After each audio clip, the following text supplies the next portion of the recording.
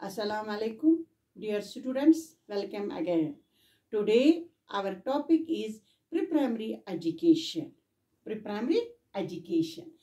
Pre-primary education can be defined as a set of knowledge along with skills and experiences. Skills and experiences. Experiences meaning experiences meaning of pre-primary education pre-primary education are known by different names like बेटा याद रखना like nursery schools बेटा nursery schools infant schools pre-primary schools Balmindra schools, kindergarten schools, and Montessori schools, uh, Montessori schools, and pre-basic, uh, pre-basic schools, pre-basic schools. Meaning of pre-primary education, the type of education to be imparted to a child during the age group, during the age group during the age group between. Between 3 to 6 3 to 6 between the age group 3 to 6, 6 before he is admitted in a primary school is called nursery or pre-primary education. Although although 3 to 6 although three to six is most impressionable बेटा इम्प्रेशेबल period one सख्त तरीन periods impressionable period impressionable period of child's life as per our constitution it is responsibility of the state it is responsibility of the state to provide elementary education and pre-primary education to all children, to all children between the age group of, age group of, between the age group of 6 to better 14 years, 6 to uh, 14 years, age group of 6 to 14 years. If elementary education is good, then secondary education is also to be good.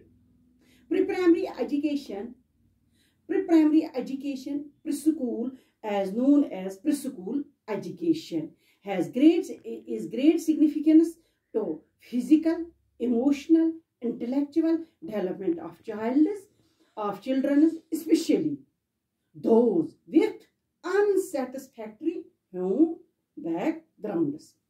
It includes, beta, ये याद रखना, it includes parental parental education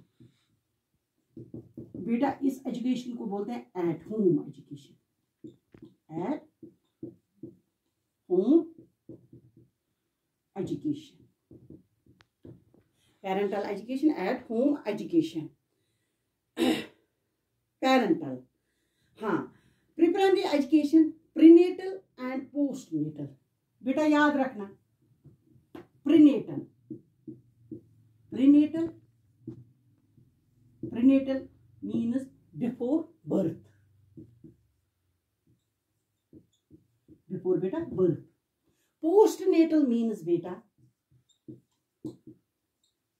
means after birth after birth after birth prenatal and postnatal care and early infancy training.